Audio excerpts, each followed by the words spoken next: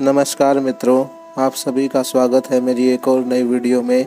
आप देख रहे हैं मेरा channel Bhavani stories, mythology stories, और मैं हूँ आपका दोस्त भवानी सिंह। तो आज की इस वीडियो में मैं आपको बताऊँगा कि बजरंग बाण के फ़ायदे क्या होते हैं। बजरंग बाण का पाठ कैसे करना चाहिए? बजरंग बाण से क्या क्या कृपा प्राप्त होती है? और बजरंग बाण के पाठ करते समय क्या क्या गलतियाँ नहीं करनी चाहिए?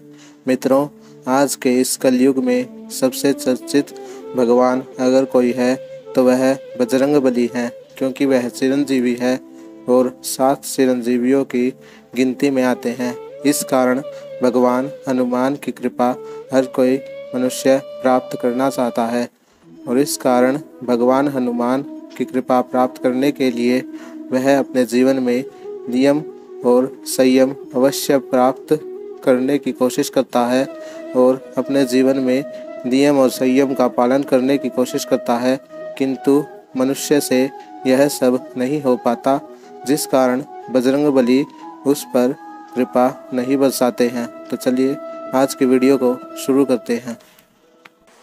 मित्रों, बजरंग बाण का पाठ सप्ताह में दो दिन अवश्य करना चाहिए। पहला तो मंगलवार के दिन और दूसरा शनिवार के दिन, तभी आपको हनुमान जी की कृपा प्राप्त होगी। मित्रों, बजरंग बली के बजरंग बाण का पाठ करते समय आपको अपने मन को स्वच्छ रखना होगा। अर्थात आपको ब्रह्मचार्य का पालन करना होगा और आपको कोई भी बुरी आदत नहीं रखनी होगी। अर्थात आपको नशा, मदिरा आदि का सेवन नहीं करना है। और ना ही अपने मन में कोई कुविचार लाना है। मित्रों, जो मनुष्य निरंतर इकतालीस दिन तक भगवान बजरंग बली के बजरंग बाण का पाठ करता है, उसे अवश्य भगवान हनुमान की कृपा प्राप्त होती है और उसका यह पाठ सिद्ध होता है।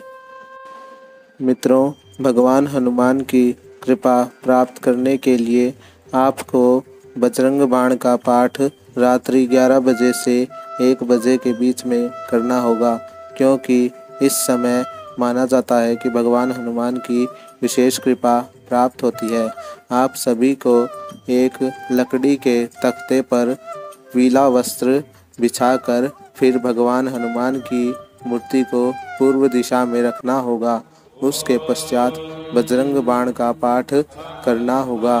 पूरी निष्ठा के साथ इससे भगवान हनुमान की विशेष कृपा प्राप्त होगी।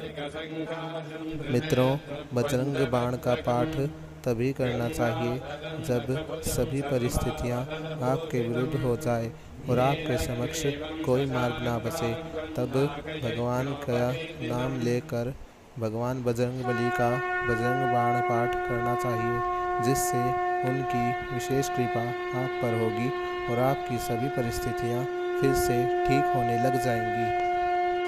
मित्रों, शास्त्रों के अनुसार बजरंग बाण का पाठ हर कोई हर कहीं नहीं कर सकता। इसका पाठ तभी करना चाहिए जब आप किसी घोर संकट में हो। अगर इसमें कोई त्रुटि होती है या इसके जाप करते वक्त आपसे कोई गलती होती है तो भगवान हनुमान उस गलती को क्षमा नहीं करेंगे और आपको इसका घोर दंड भोगना होगा। इसी कारण कहा गया है कि बजरंग बली का, बजरंग बाण का पाठ तभी करें जब आप किसी घोर परिस्थिति में हो। मित्रों, बजरंग बाण अत्यधिक शक्तिशाली है, क्योंकि इसका अर्थ ही है बजरंग का तीर, अर्थात हनुमान जी का तीर।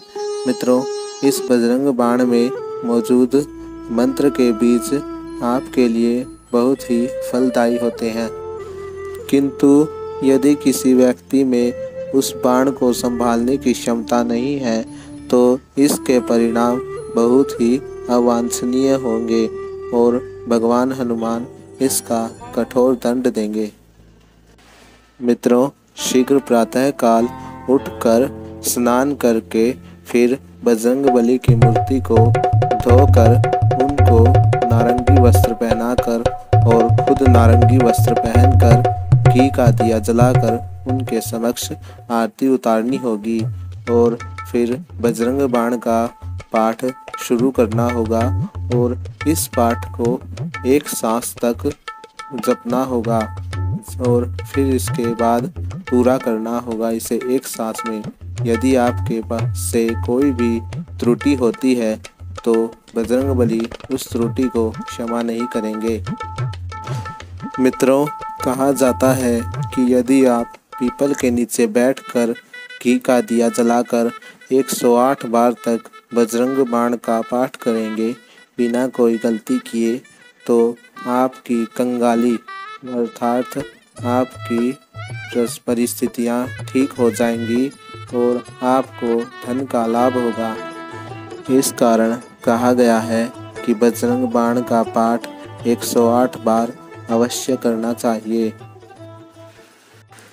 मित्रों, अगर आपको मेरी ये वीडियो पसंद आए तो मेरे चैनल को सब्सक्राइब, बेल आइकन को प्रेस और कमेंट सेशन में एक छोटा सा कमेंट करके मुझे बताइएगा, ताकि मैं आपके लिए और ऐसी वीडियोस लाता रहूँ और आपको मनोरंजित करता रहूँ। धन्यवाद, शुक्रिया, टाटा बाय बाय